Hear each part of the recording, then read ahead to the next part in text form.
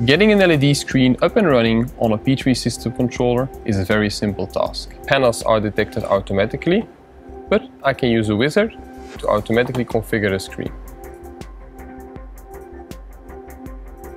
This screen consists of VDO Face 5 high brightness and VDO Face 5 high contrast panels.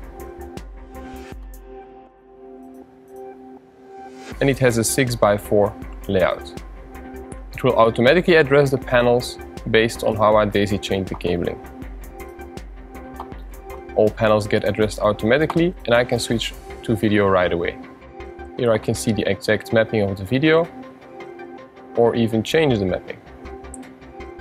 And also here a wizard helps you to fit the video to the screen.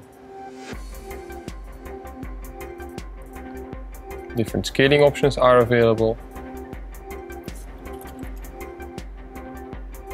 and then the video is mapped onto the screen.